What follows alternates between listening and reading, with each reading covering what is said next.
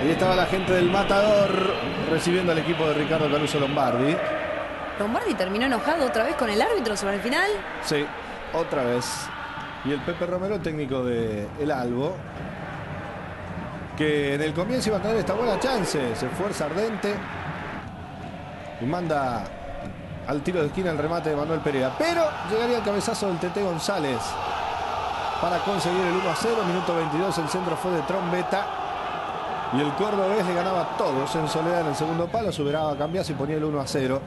Diez tarde. Ardente amaga con salir, queda a mitad de camino. La aguanta y la lucha Mauro Matos y Grassini con una muy buena pegada y de primera. Consigue poner el 1 a 1. Lindo gol, ¿eh? Del zurdo que con calidad ponía las cosas 1 a 1. Y ahora, terrible lo que salvó Ardente después del cabezazo en contra de su propia valla de Cristian Trombeta. Fíjense, no lo vio salir al arquero, se la quiso alcanzar, pero ya estaba a mitad de camino y con lo justo terminó salvando lo que pudo haber sido el segundo de All Boys. Ya había perdido el saco Ricardo Caruso Lombardi, entrado en calor. Otra buena de Grassini. El remate justo que pasaba cerquita del arco de Ardente. Y ahora una polémica porque el cabezazo de Castaño termina en la red. Pero el árbitro, Alejandro Toya, anula la jugada porque Claudio Pérez estaba fuera de juego. A ver.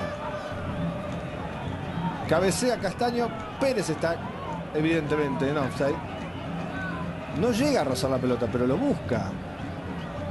Caruso se enoja, pero no hay mucho por lo que reclamar. De todas formas, Tigre iba a conseguir la ventaja con el desborde de Ramiro Leone. Cabezazo de Almarini y aparece otra vez Esteban González en su versión de goleador. Y eso que no venía siendo titular. El ex Belgrano, Gimnasia, Colón, entre otros. Después del rebote del palo, a puro olfato goleador ponía el partido 2 a 1 a favor de Tigre. Pero seguían repartiendo llegadas.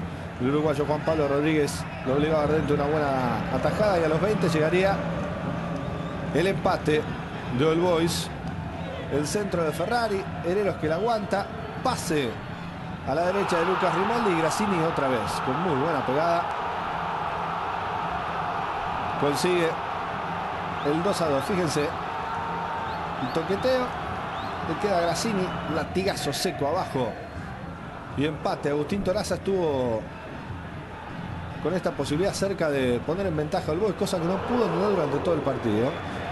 Y la pelota se iba cerquita. Y a los 29, un largo pelotazo en el cual duerme la defensa del Boys. Y gol de carambola de Denis Tracualursi, porque remata el ex gimnasio, la pelota le pega en el cuerpo a Cambiazo, le rebota, atraca en la mano. Y sí, tocó la mano la pelota, pero rarísimo, ¿no? No hubo intención, pero no se puede convertir un gol con la mano. Otro para la polémica de la semana. Pero a los 35 llegaría Mauro Matos con un cabezazo impresionante. Después del centro de Toraza. Ahí va, el largo pelotazo ya estaba en la cancha Cristian Fabiani, quien es el que aguanta la pelota para Toraza que mete el centro y Matos vuela sin cometer falta. Y consigue el 3 a 3 definitivo. Ahora, uy, qué penalazo. Renzo Vera, mientras Fabiani trataba de aguantar el balón, mire lo que hace. Pone la mano. ¿Habré visto el partido de bola y antes? No. El árbitro no lo Se vio, equivocó. Fabi- Fabiani no lo puede entender. Final del partido, del partidazo. 3 a 3 entre el Boys y Tigre.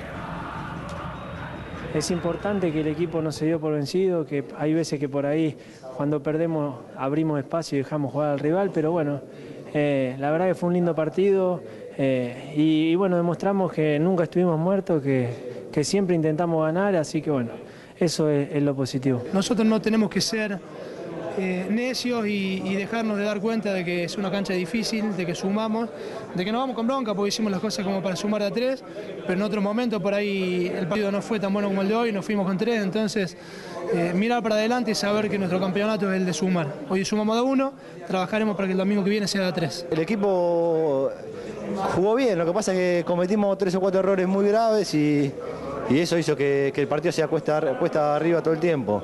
Eh, es difícil empatarle tres veces a un equipo de Caruso, así que eh, por un lado es un mérito. El punto sirve de mucho porque como se dio el partido, como se presentó, eh, futbolísticamente sirve de mucho. Y, y después veremos si realmente suma para el promedio, ¿no? Porque eso también creo que a Tigre le, le resta y a nosotros nos suma. Así que en ese sentido creo que es positivo también.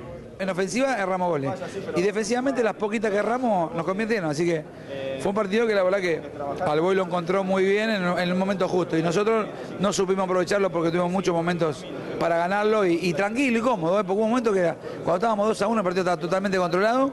Pero bueno, si errás los goles y después te convierten es, es, por, es por errores nuestros, ¿no?